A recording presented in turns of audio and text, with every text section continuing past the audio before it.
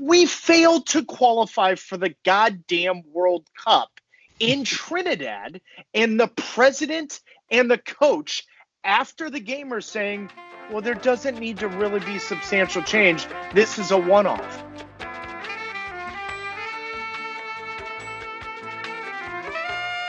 Welcome in to episode 7 of The Heart of the Game, the show where we get to know the voices of football, the voices of the beautiful game. I'm your host, Nate Abaurrea, and in this edition of The Heart of the Game, we're joined by one of the most recognizable voices in the American soccer landscape, our friend Taylor Twellman. So without further ado, let's do this thing. So, Taylor, this show, as you know, has been dedicated to the craft of football commentary. And I want to open up by asking you a, a rather open ended question, but it's one that I think will really get things flowing in the right direction here. And that is what do you love most about the craft of, as we call it in the States, color commentary, or as they call it overseas, co commentary? What do you love most about calling matches? Oh wow, Nate, that's a uh, good start to the uh, conversation. I I think for me the most addicting part of commentating is every single game is different, and it seems so impossible to be true and yet there is a moment or two in every single game. And listen i've done some of the worst games ever uh, I particularly remember, I think, Northern Ireland Wales Euro game in 2016. That was one of the worst games I've ever done. I've done a couple MLS games that are absolute drubs, and you just think about it and you're like, wait a minute, but there's one or two instances in those games that's completely new to you, completely different. And how do you react? How do you respond? Um, it's eerily similar to being a player. You know what I mean, Nate? Where you every single game, every single circumstance, the different things happen, different situations pop up. You're judged so much on your reaction and, and what how you handle that. So I, I would say that's the most addicting part to it for me is that aspect. Um, but I think for the listener to fully understand where I'm coming from, you have to remember my playing career ended in the prime of my career right when I was on the verge. You know, there was a $3 million offer to go to England, and I had so many opportunities to further my career. And then in the blink of an eye, my career is over, it's done with. And so I start commentating when I still feel like I've got a solid five, six years under the belt. And uh, that's kind of why I'm addicted to it. I think it kind of saved my mental health.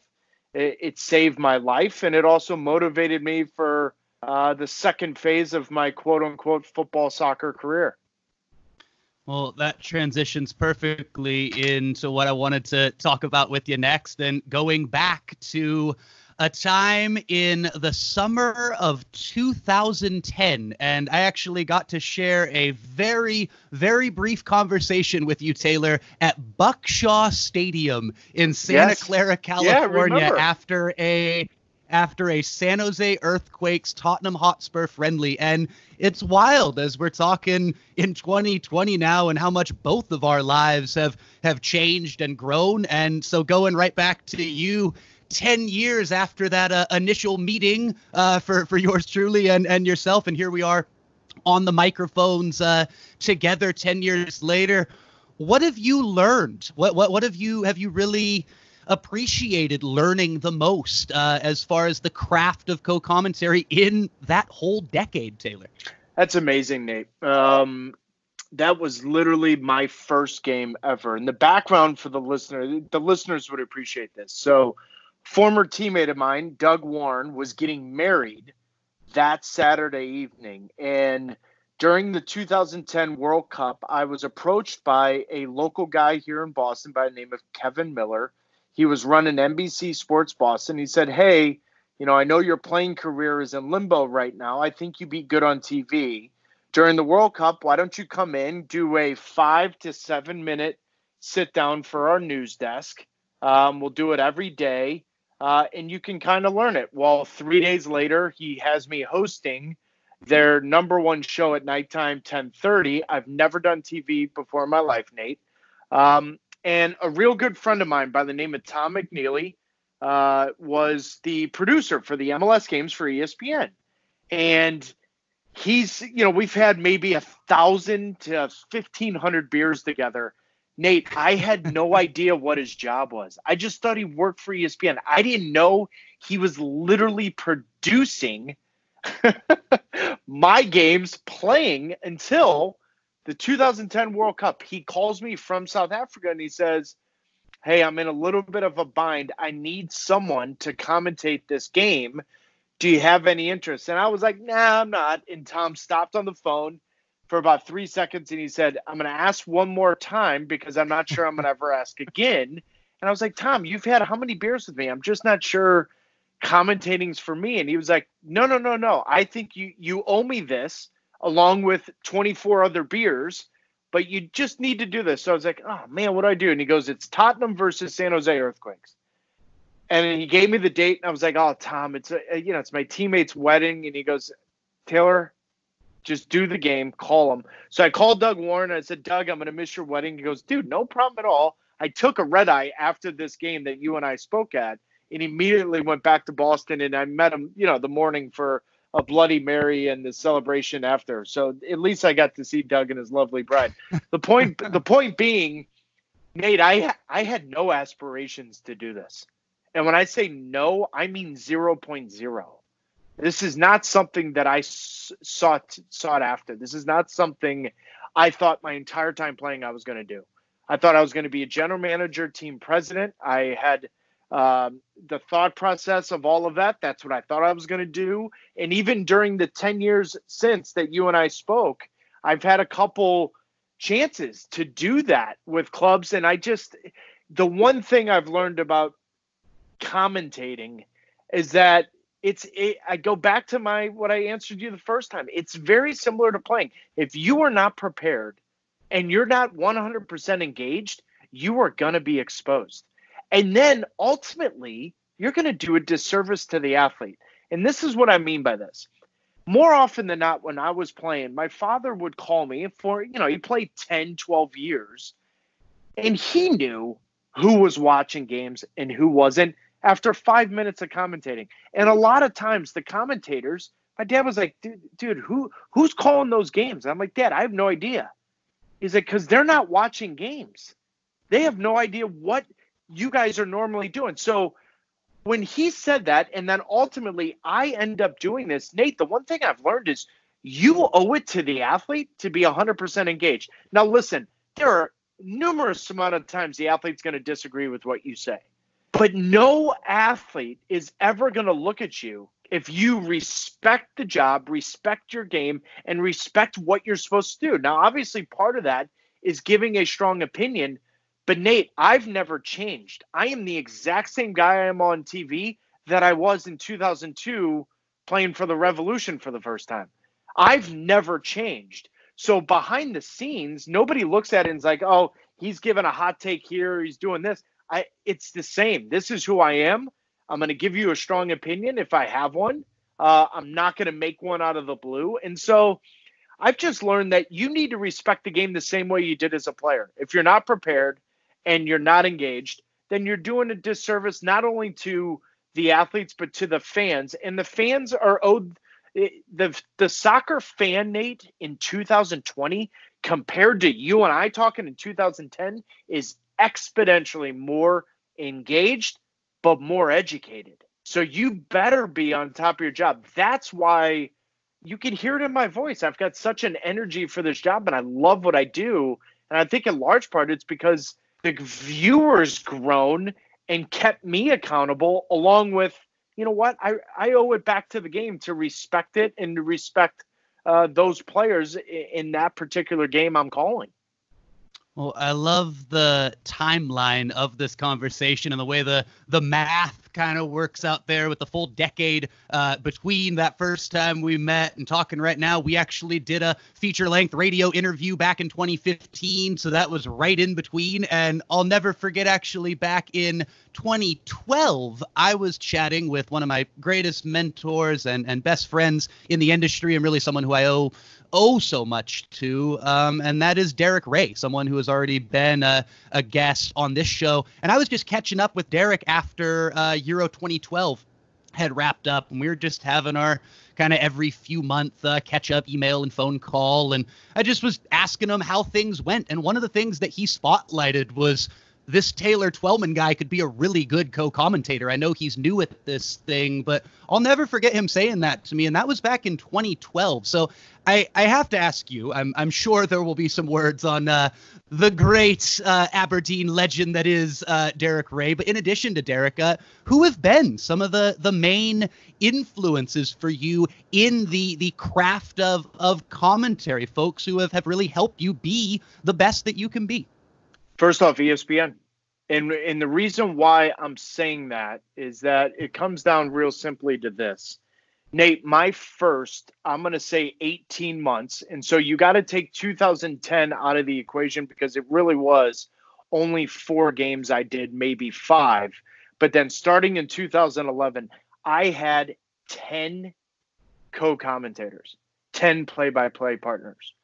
And that, in a nutshell, helps groom anyone as fast as possible as any other tactic you can have. And with all due respect to Tony Romo, who's come into this job and completely lit it on fire, he's working with a Hall of Famer in Jim Nantz. And every single game is with Jim Nantz. And now, if everyone, as a co commentator and that as an ex player, more importantly, that's learning the craft, has the opportunity to work with someone like that, well, then it's going to help you ease into the job. ESPN went the other way. They just threw me into the fire. And Derek Rae was one of those. So so think of this. You have Derek Rae, John Champion, Ian Darke, Adrian Healey. That in a then you throw in Glenn Davis. So and then I did local games with JP Dellacamera. So if you went through my 10 co-coms, my 10 play-by-play guys from January 1st, 2011 to January 1st, 2013, Nate, that was the most influential thing in my life, bar none, no questions asked. And I give all the credit in the world to ESPN because, in listen, part of it was by default. I wasn't the number one uh, color commentator, so you're just filling in. You're doing games, you're getting reps, you're doing whatever you can. But every Philadelphia Union game in 2011, I'm doing it with JP Dellacamera. Then I'm filling in and doing games with anyone that I can. And then ultimately, 2012, it starts. You've got Ian Darke, and then I end up working with Derek Rae, and then I, you know, and Adrian Healey consistently. There's been so many of those little things you pick up. Now, listen, Nate, I'm not going to sit here and blow smoke and say that I wasn't fully aware of the opportunity. I was. And in large part because I needed it. People don't understand where I was in my lifetime post concussion syndrome and, and, dealing with the loss of your career.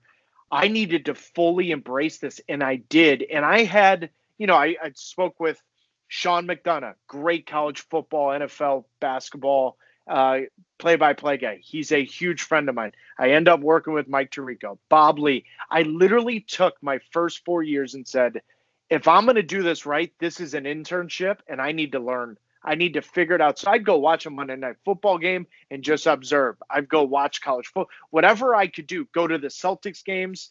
You know, Mike Gorman's an unbelievable guy here in Boston. He's a legend with Tommy Heinsohn. I literally called an entire quarter of Celtics basketball, Nate. to, to think of that to promote the Revs, they had me on for one quarter, and the entire time I'm ta- I'm looking, taking notes. I that I just absorbed every little bit of info because I had no aspirations of this. So Nate, think of that. You you just it, your playing career is cut from you, and then you've got to look at it. So when I did that Euros uh, 2012 with Derek Rae, I'm sitting there saying, I'm doing two games with Derek Rae. I better be on my game. and I need to watch what he does. And so I, I really have just really been very appreciative of how ESPN handled my situation and made me work my rear end off because there are way too many guys that are trying to do this or coming in to do this that don't fully they think I literally went from playing for the Revs to calling games overnight and that is that takes away the 12 months of just every little little gig big gig that I took to do this. That's where I don't think people have a full appreciation of how you really turn into a co-com if that makes any sense. It makes perfect sense. And and I have to ask you when you bring up mental health and and your recovery from the concussions that that you went through and everything you were going through in your life it really puts that conversation that short conversation that we shared walking out of Buck Shaw Stadium in 2010 in a different light and a different perspective for me. And I have to ask you do you feel like it was almost a blessing the fact that this was never something you ever considered that it got to kind of come yeah. out of the blue the way that it did? Do you feel blessed by the way that kind of worked out? Absolutely nate. You you couldn't have said it best my man. Um, yeah you do. You just feel lucky. Uh, you feel like it was something that was out of your control and nothing you really planned and and just something that kind of fell in your lap, but not fell in my lap because that downplays how hard I worked to try to figure it out and learn it. But to net, I mean, Nate, you said it. I, I feel so lucky that I found something I'm passionate about. Now, listen, the listeners of this podcast and this interview, they, they've seen me enough. If I don't have any energy, then you know something's wrong and I'm either sick or something's wrong. I've, I've got energy in everything I do, but there's a real passion to do this right. There's a real I think real passion to still improve. That's the one thing that I think very few people understand. As I still, every time I do a game with John Champion, I'm like, you know what? I, I need to be better here. I need to be better there. Uh, that's also ESPN's nature. You know, ESPN is very critical behind closed doors, especially with me, which I thoroughly thrive in, and I love that, and I and I enjoy that. But um, that's a long answer. The answer is yes. I feel lucky uh, because I'm doing something I love and I'm talking about it with you, Nate. Like if you would have told me that 10 years ago, bro, I would have looked at you and said, "Yeah, right. No chance." in 2020, you and I are going to still be talking about me and a microphone in front of me talking about the game. Well, it's absolutely beautiful.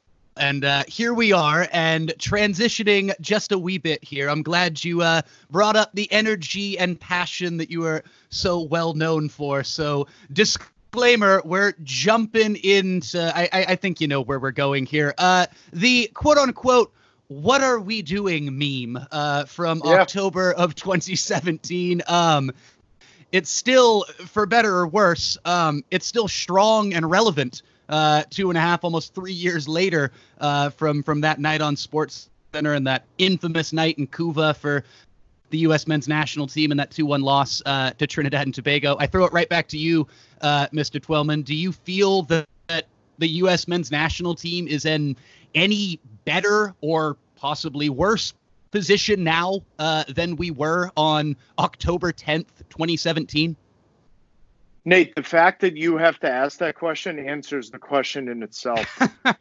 I mean, the, the fact that we are talking in late March of 2020 and you have to ask that question, that answers it in itself, buddy. And, and so the more frustrating part of being an alum, and also out of complete transparency for the for the listeners at home, I, I, I have partnered with U.S. Soccer to try to change concussion laws and heading and all that. So uh, listen, it, it's not as if I'm not I'm on the outside and not inside that building, but with regards to the men's national team and the technical development of players and whatnot, Nate, it's disheartening. It's disheartening the fact that you know the how many lawsuits that the federation has. It's disheartening to me uh, that the men's national team hasn't fully grasped um, how to develop players, and yet they're not really in charge of developing players. That's more based on the domestic league. And then you go through this vicious circle and you sit there talking, and it all comes back to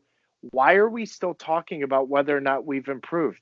Why hasn't there been substantial change? And here's the most important thing about what are you what are we doing and that meme and whatnot. First off, it wasn't orchestra. It wasn't. I didn't calculate that. That was that was as raw as it comes. I'm just very fortunate. I didn't drop an f bomb or cuss because it would have changed the entire thing.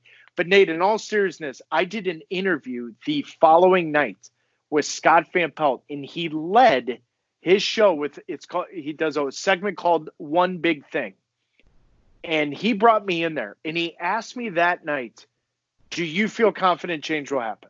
And I answered it with this My heart says yes, my brain says no. And I feel like my brain is going to be right. And I'm not sitting here to pat myself on the back. I just knew that the way soccer in this country has been operating for numerous amount of years, that was the breaking point in which you need to embrace real change and you've got to be more inclusive than exclusive for sport since 1986 that has been more exclusive than any other sport in our country. And yet, no. You've got Sunil Gulati and Bruce Arena, and now Jurgen Klinsmann, everyone pointing fingers at everyone else. You're a month, you're two months afterwards, and you're still no answers. And then you sit there and wait, and then there's a presidential election that made a complete mockery of the entire sport in our country. Nate, I'm sorry. Uh, you're asking me this in 2020, late March, and I still feel like you, they're stuck in the mud. Well, I'm glad you mentioned that election that came, what was it, three or four months uh, after that fateful night in Couva. There was a, a, a fateful couple of months uh, surrounding that U.S. soccer uh, presidential election. And I have to ask you, Taylor, the Athletes Council and and folks who are former U.S. players and and standout great former U.S. players who are now in the the broadcast uh, television landscape. I, I, I hold no qualms in saying this. I speak of of Stu Holden and Carlos Bocanegra, uh, specifically, both men who who you've played with and and have have relationships with the Athletes Council was a huge part of, of what got now former U.S. soccer president less than two years after being elected, Carlos Cordeiro. What got him elected in the first place, a huge, huge bit of it was that Athletes Council. And I have to ask you what your thoughts on when when you hear and look, not to pick on Stu or Carlos specifically, because there's plenty of other examples, but when you hear people give very boisterous, very strong, very passionate uh, uh, damnings of and very reasonable, very very righteous damnings of of the things that are going on uh, with U.S. soccer. And when those same individuals were folks who were part of the athletes council that helped Carlos Cordeiro get elected, what goes through your mind when when you hear those folks give those opinions that very much mirror yours and, and mirror mine, but I wasn't on the athletes council that helped Carlos Cordeiro win a relative sham of an election in 2018, Taylor. Yeah, Nate, I think that in a nutshell, uh, your question is the same question I have for U.S. soccer, and that goes back to my previous answer change. Like, how, how's the board of directors not changed? How is there no turnover? How is there no term? How, how, is the athletes council the same? See, this is where it gets very confusing to me is that if Carlos Cordeiro failed the way he did, where's the accountability in our sport in our country? You answer me that, Nate. There is none. There is no accountability. And so you, you, listen, everyone wants to point to Stu and Carlos. And listen, Stu and Carlos are bright men and they understand the magnitude of what that role is. So you know damn well that they're at home under. I, I would hope so, and I'd be shocked if the answer was uh, the opposite. But I, there's no accountability. Liter- literally, Nate, you asked me that. Answer me this: Where's the accountability in the sport in our, in our country?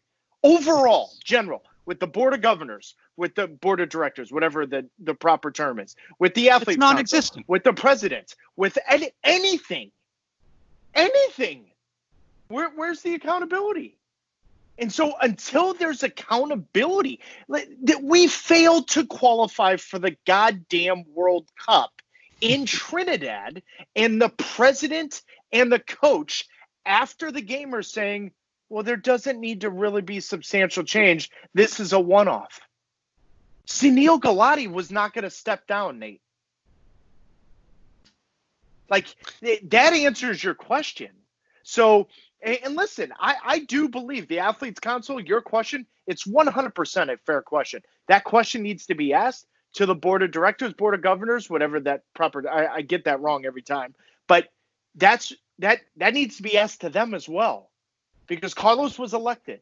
Carlos was put in. But when I look at that election process and the way the president was elected in our country, you got to be kidding me. You've got to be kidding me. And, th- and this is the other thing that's very interesting that nobody wants to say. But how many of those people that are part of the youth of U.S. soccer really care? As long as the pay to play thing continues and every single one of them is making six figures and whatnot, do they really care whether Carlos was successful or not? You know that answer, Nate.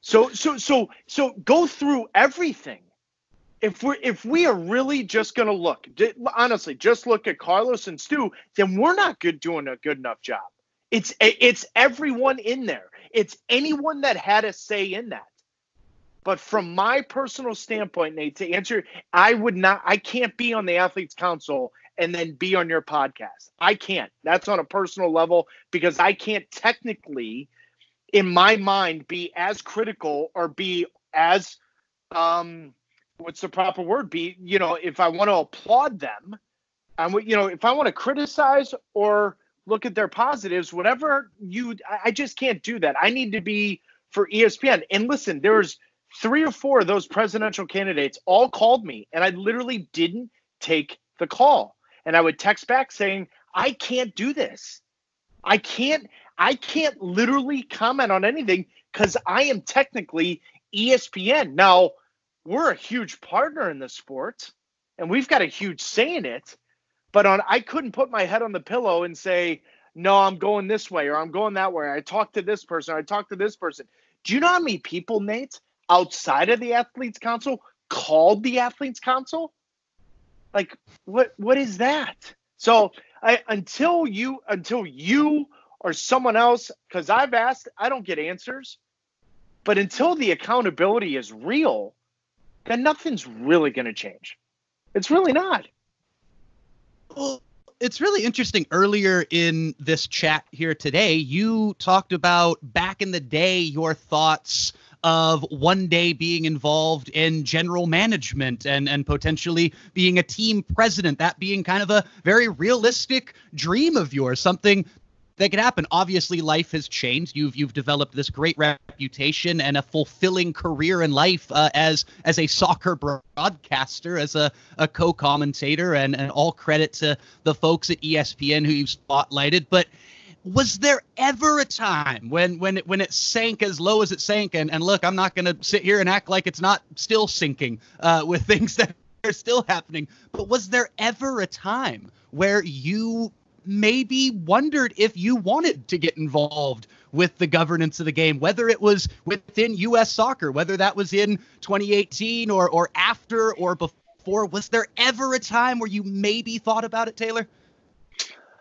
Uh, maybe for a split second, maybe two seconds total. Um, no, no, I um, no. Uh, do I want to help? Absolutely, Nate. Do I think I can help? Yeah, I do. Uh, but to know where to put that energy, how to do it, how to execute it, uh, no. I, I, just, unfortunately, I don't know if if it is for me. Um, and and in large part because you start to weigh, you know, where can you make change? Where can you help change? Where can you help the ball and continuously roll you know up the hill and do whatever whatever analogy or buzzword you want to use i just feel like uh, my impact is greater right where i am right now um, than anything else and maybe i'm wrong on that maybe i am wrong but from self-reflection and just having numerous amount of conversations regarding that yeah no. I, I think i'm i think i'm okay where i'm at. I am uh, quite grateful that, that you are where you're at because as you said you might not be uh, on my show if you were uh, in in a different position. So it is very very good to have you. Um, that's enough of the uh, the us soccer uh, conversation for now. Um, we try to make this show quite evergreen. We we we try to keep this uh, right now as as a bit of a positive distraction, and I hope folks are listening uh, to this episode months and months and months down the road. But I right now feel obligated uh, to diverge a little bit uh, away from that because of the news of Euro 2020 uh, being officially uh, moved. I know that was a huge, huge event on your docket. We were talking about your first experience at the European Championships uh, back in 2012. Euro 2020 uh, was was going to be big for not only for Taylor Twellman but for a lot of people, for millions of people uh, around the footballing world. Obviously, with the the pandemic and everything going on with coronavirus and and COVID 19, Euro 2020 for now is hopefully going to become Euro 2021. So. I have to ask you, Taylor, what your new kind of outlook is going into the the spring and summer, well into the spring here as we're talking uh, in 2020 and into what was supposed to be a an international brilliant spectacle of of, of international footy uh, during the summer. What what is your mindset going into the summer and do you have any plans now or is it kind of just taking it all day by day like the rest of us? It's day by day, like the rest of like everyone, and quite honestly, we all should be day day to day because literally every two to four hours, Nate, there's new news. There's, you know, mm-hmm. you and I are talking right now, and the city of Toronto literally just broke news that they're banning all public events until June 30th. So that has huge Major League Soccer implications, let alone NBA implications. So this thing's very fluid, unfortunately, um, but that's the nature of what we're doing. And and Nate, I think we'll all look back on this uh, when there's a vaccine and everything and just say, wow, we were alive during that and we got through this. Like, it's just there, there's things happening in your life. September 11th comes to my mind right right off the top of my mind where I was. I was in Germany playing for 1860 Munich. Um, we're all going to remember this. And, you know, is it a little bit of a reset button? Yes. It, you know, we all, I, I'm no different than anyone else. Uh, with the struggles or the implications of it all. Yes, Euros 2020 is now pushed to 2021, but it, it wasn't canceled, right? So I sit there and say, okay, you know, Nate, that's not Olympics was postponed, not canceled. Um, so you, you just look at I, I'm always a glass half full type of person when your outlook on it and try to get through things. And so um, 2021 is going to be a thrash. I'll tell you that right now, because when you look at Euros 21 in there, and then also with World Cup qualifying involved. Now, luckily for the world of soccer football, World Cup 22 is in December. So you gain, in a weird way, that extra six months to fill in games. Does that make any sense? So, you know, Nations League, FA Cup games, you know, that kind of stuff, those may be postponed or outright canceled, but the leagues will get done. And, and Euro 2020 albeit in 2021, it will happen and it's going to be an unbelievable spectacle. Don't you feel like, Nate, there's going to be a new lease on life when that vaccine mm-hmm. comes out and, mm-hmm. and, and everyone gets out of this quarantine? I think there's going to be a new appreciation for the little things that many of us took for granted during all this. It's a major, major chance for for all of us to to reset, heal, and and rebuild. You you summed it up perfectly there, Taylor. Now wrapping up uh, uh, this conversation. This has been a great, great pleasure and privilege so having Nate, you on. Nate, this, Nate, yes, hold yes, on, hold ahead. on, real quick. You're gonna die laughing. So this is what I mean by fluidity. Now, the mayor of Toronto releases a statement saying the ban till June 30th does not include sporting events. Hmm. okay. So, so, so it's this is what I mean by it. Literally, if you're literally on social media, everything changes like every 10, 12 minutes. Now, 98% of it's fake news, but you that's up to you to figure out what, which is which. Anyway, sorry, I digress. No, no worries. All the more grateful uh, for for the current uh, high hiatus from the social media landscape that uh, I am uh, taking uh, at this uh, moment, but uh, I, I, I, I understand completely. I understand completely where you're coming from, and, and it really does sum it up. And, and we have to take it day by day and, and be the best empathetic uh, humans that that we can be and we are going to look back on this when we get through this storm and and have a new lease on life as you said I, I, I really do believe that and i'm glad that that you said that as as the guest on this show, and and that's an outlook that that I want to share uh, here as the host of this thing. And this thing that I speak of uh, is very much entirely a soccer show. This is a show uh, dedicated to the craft of of football commentary and football romanticism and the heart of the game and the gantries and the microphones and all that good stuff that that we love. However, I have to ask you, Taylor. I've always wanted to talk to you about this. I found this out during your playing career, and this was something that really uh, it, it, had me. It, it, it endeared you to me so so much uh, based on my own personal sporting background. I grew up in a predominantly Mexican American town. It's a major part of of my cultural heritage and and upbringing. And my two sports that I played the most and loved the most, as far as watching and listening to and going to live events and becoming a, a, a proper student of these two games, was the one of the most unique sporting combos uh, that I, I, I seldom find anyone who shares this combo. I meet plenty of. Uh, football and basketball people, high school, college athletes who are three sport athletes. I've met people who are soccer players who are also played American football or played basketball in in the other season. I have met I could count on no more than a hand or two the amount of soccer baseball people that I have met mm-hmm. in in my life. It is a unique combo. It is part of what has endeared northern Mexico uh, to me in my time since moving uh, to San Diego and and Tijuana, Monterrey, going down to Culiacan and Sinaloa and so many parts of the north of Mexico where soccer and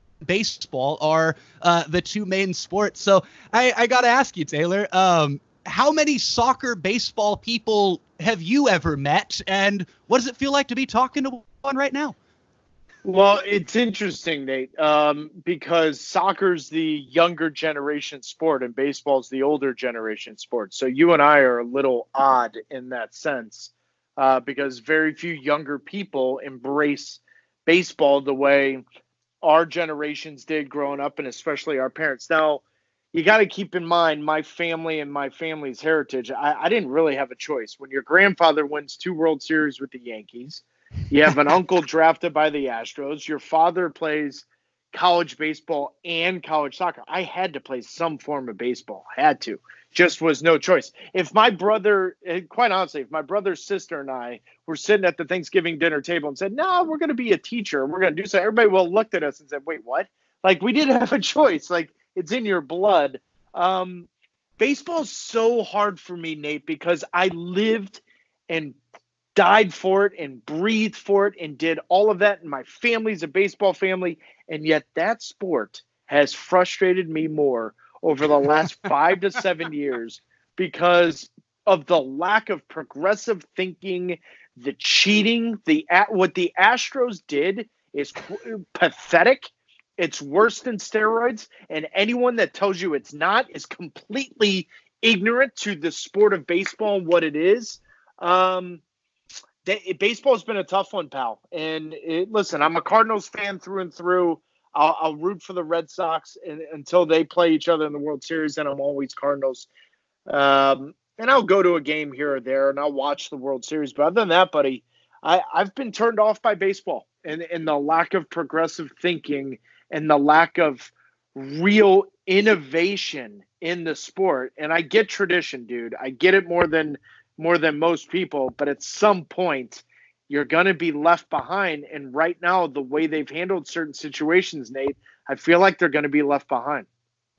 I couldn't agree more. However, to put the uh, slightest little positive bow uh, on this conversation and tying it even back to where we met in San Santa Clara and back in 2010 in the broader Bay Area. 2010, such a great, memorable baseball year for me, as it was when my beloved San Francisco Giants finally broke uh, their World Series curse and, and finally won the title in San Francisco for the first time.